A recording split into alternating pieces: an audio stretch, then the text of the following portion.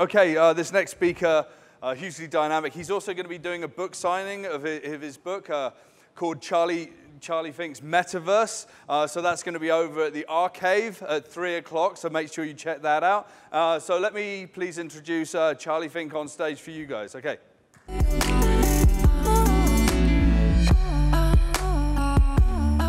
Hey, hello, Vancouver!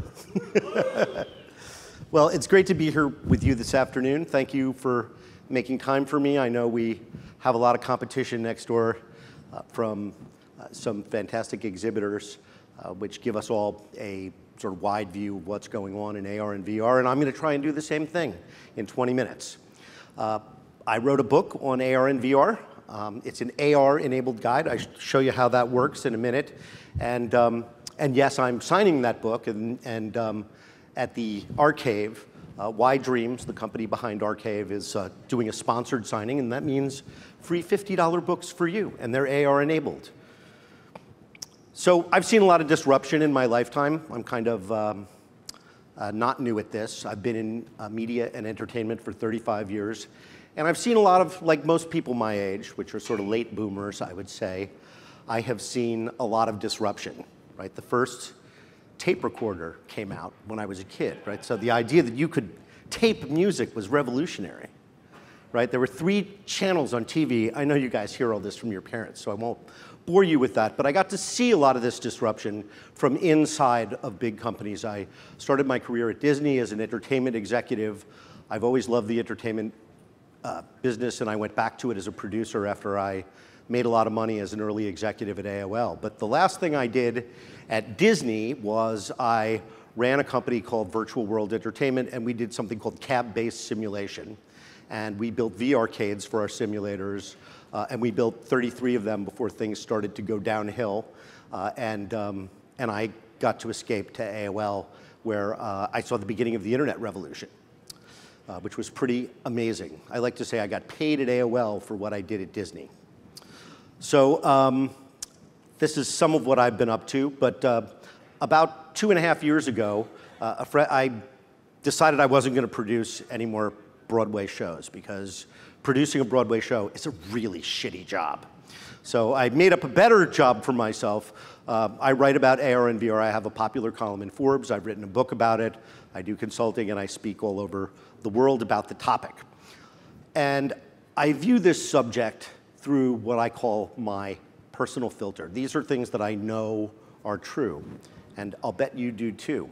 First of all, uh, technology succeeds when it makes what we're already doing better and faster and cheaper. The next thing, which you also know, is that people are the killer app. You walk around with, we walk around with a very powerful computer in our pockets, and 95% of the time, we are interacting with other people. Social media, messaging, which is the iPhone's most popular app, even old-fashioned email. And then the other thing, from my old guy perspective, is that things take a lot longer than people think. Right? I am bullish on AR and head-mounted displays but I also think it's going to take a decade to happen. It took the personal computer 20 years to be in 25% of American homes. In fact, it wasn't until the computer met online services that people had any idea why they would want one at home. They had one at work. So let's uh, get back to the subject at hand and my book. Um, how does an AR book work? It's very simple. You download the free Fink Metaverse app and you point it at the cover. And I'm going to show you what happens when you do that. I hope they're ready to run video sound back there, the Crackerjack tech team, who've done a fantastic job. Uh, so let's see if it works.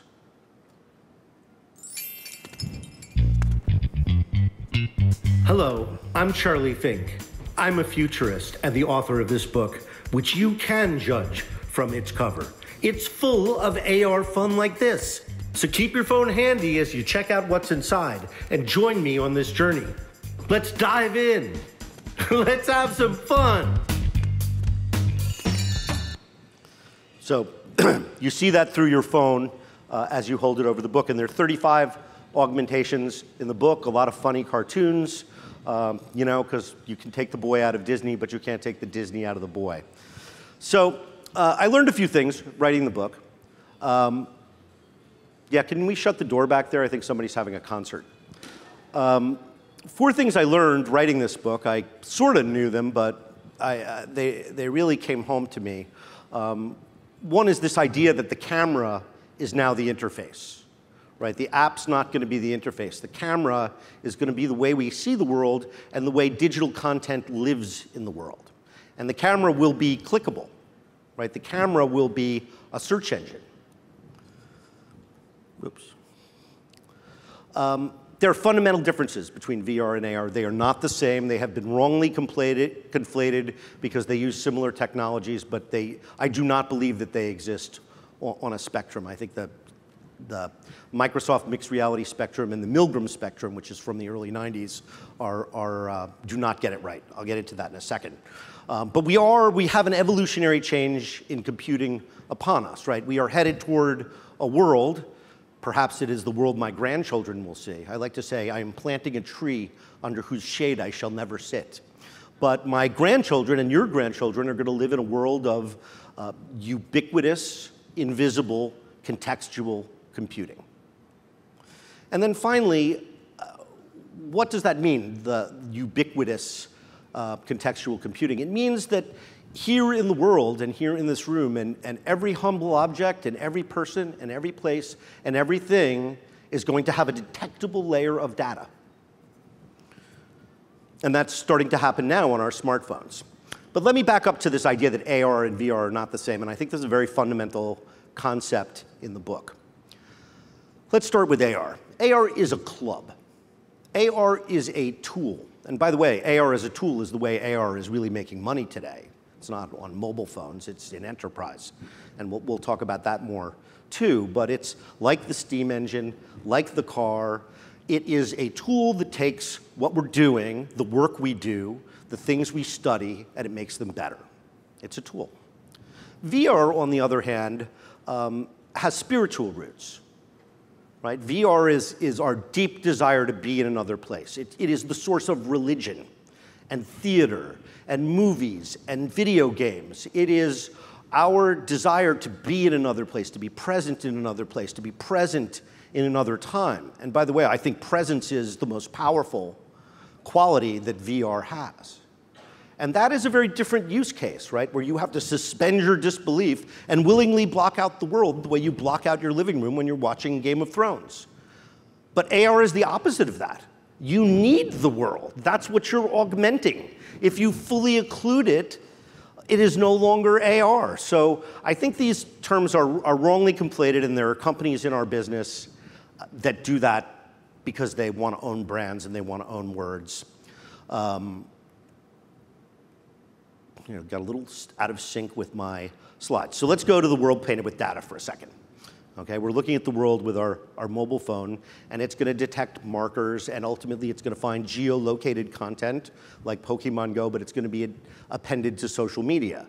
So your social media posts suddenly are free from the tyranny of the newsfeed, right? Because if you take a picture of your friends in this hotel, it will persist there until your other friends come looking for it later. Or you're in a restaurant and you leave pictures of your food or a review. So it doesn't go by in your newsfeed and get seen by eight people. It gets seen in context when it's needed. And that just-in-time quality of AR um, is just being developed today.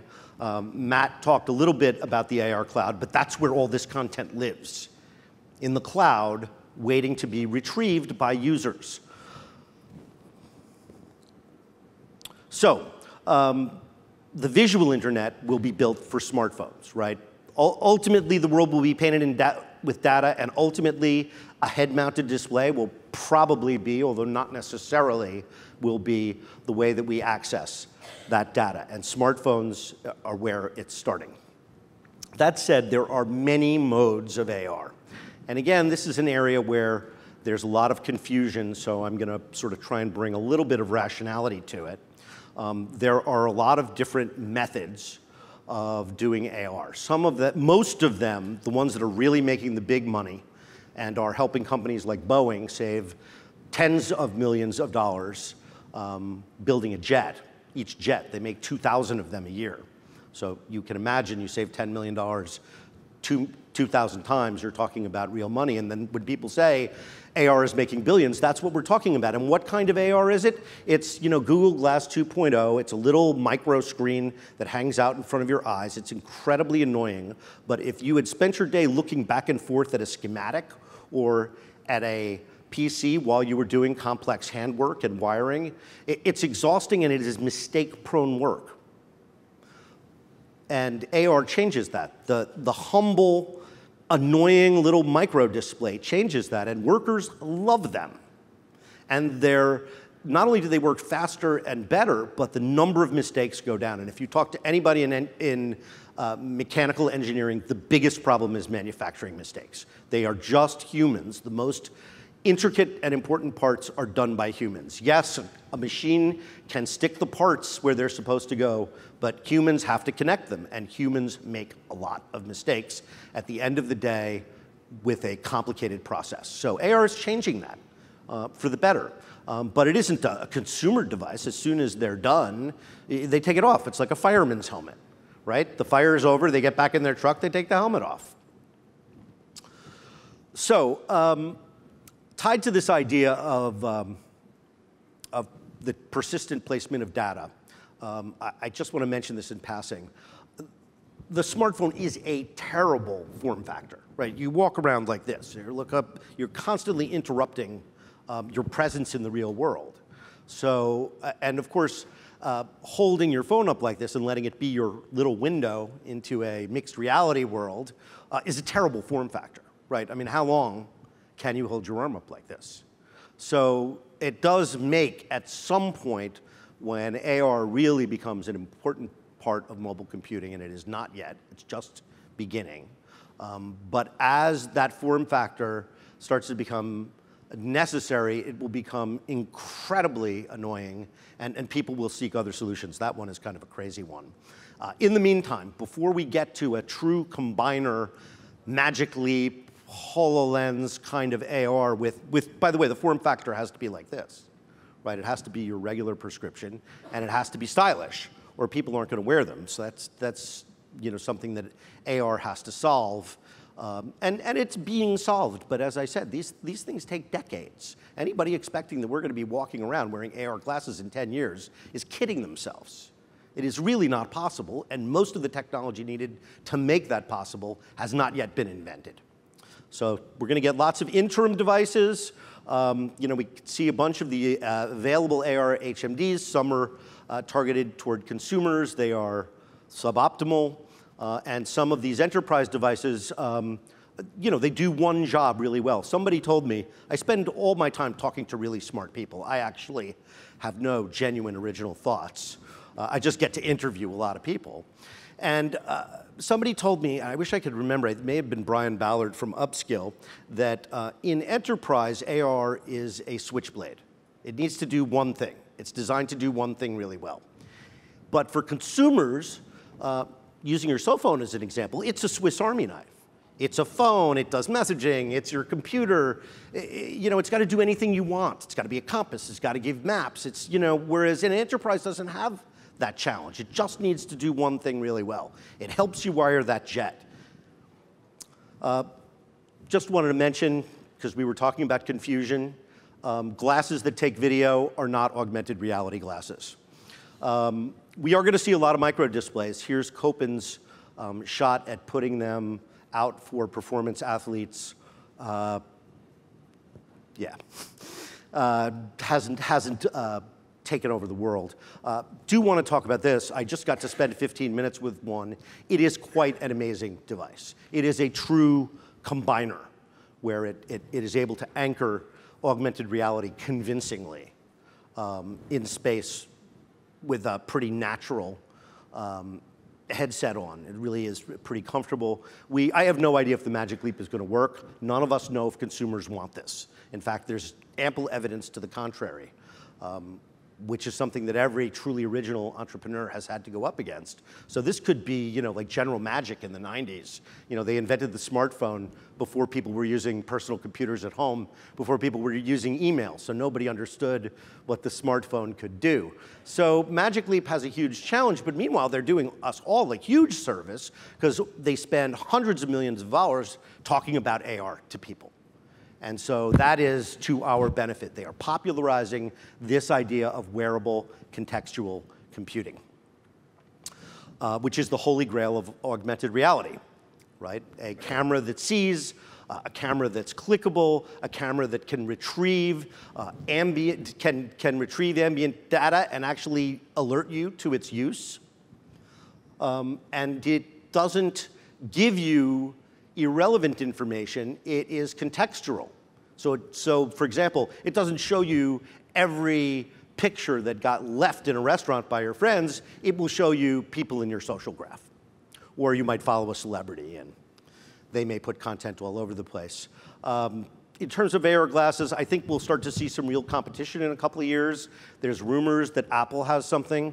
Uh, we should talk about Apple for a second, just because everyone is obsessed with their plans, which, as usual, are shrouded in secrecy.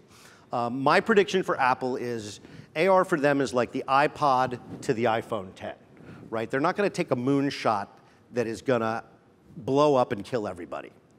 They're going to come out with a device, possibly a game device, but a device that does one thing really well, like an iPod. And then they're going to start iterating on that device. So it's not like Apple's going to show up and you're going to say, oh my God, Apple, it's just like my regular glasses, thank you. No. It's going to be some, I mean, if you look at an iPod today, I don't know if you've seen one recently, but they're tremendously lunky. They're really heavy. You know, we used to think the form factor of the iPod was perfect. You know, but really today, if you look at it, it's quite clunky. And so I think that's where we're headed with Apple. I'm very skeptical, skeptical about 2020, actually. So should update that slide. Um, but the cash is really in our hands. It's, it's the smartphone that we're already using that is going to make things we're already doing much better. And we're seeing it. Google Maps is introducing um, their uh, new navigation uh, in early 2019, uh, and that will be true AR, geolocated, characters anchored in place, showing you the way um, to the subway or through a city. Uh, and it's hopefully going to be amazing, but people are not going to say, oh my God, Google AR maps are amazing. No, they're going to say, Google Maps, did you see the new Google Maps? They're much, much better. Um, so it's going to become, you know, it's going to slowly seep into our lives, right? There's not going to be a big event right? But before we know it, AR is going to be um, infiltrating every aspect of mobile computing. The story with VR um, is simpler and the road for VR is harder. Because I know what AR can do, and I can explain to people how AR will improve their lives. VR, much more abstract the killer apps for VR. We all stood here. I would, if I had spoken here a year ago or two years ago, I would have said, well, when the cheap standalone headsets come along, I mean, then VR is really going to break through. Oh, and the headset's $200. Oh, then VR is going to really break through. No, that was wrong. It isn't related to the price, and it's only slightly related to the form factor. The problem with VR is that it has no readily apprehensible consumer value proposition. So people know what VR is and they try it out in public places and maybe they've even used it at work. But like the personal computer in 1990, they have no idea why they would have one at home or what it's for. If VR is not a game machine, people do not know what it's for. So it could take, take a while. I, I like to say they're waiting for their AOL moment, right? They're waiting for 1994 where people have a big aha and they're like, okay, now I understand why I need a $2,000 computer in my house which you know, would have been like $3,000 today, which is more money than people want to spend uh, on anything except for a car. Um, so the money is being made in enterprise. Again, consumer mobile AR is uh, starting, and it's going to be amazing, but nobody is making any money with that any, today. And it's not like Google's going to improve maps and, and make more money from maps. Um, but in enterprise, it's making a huge difference. So uh, make some quick predictions. I'm a little over time, so I'll make some quick predictions about um, the things that are going to happen. Uh, we talked about the invisible data layer and the explosive growth of enterprise. Um, we may see bigger screens. You know, you see the foldable phones that are coming with bigger screens. Um, those bigger screens are going to make mobile AR much better. Um, as I said, I think the adoption of HMDs is going to mirror the um, development pattern of the personal computer. And if that's true, this is 1992. The good news about 1992 is the people in the computer business in 1992 were rich by 2000. Everybody involved got rich in those eight years. So you are sitting in a very good place right now because this is the largest wealth creation opportunity since the internet. Um, I never thought I would see another event like that in my lifetime. Smartphones somewhat uh, uh, were also an incredible opportunity, but this is the next one, and you are here. So, um, June 2018? No, that's an old slide. Forget that slide. All right, book signing at 3 o'clock. Stop by and say hello. Free $50 books. Thank you, YDreams. Thank you, VRARA. And thank you all for listening to me this afternoon.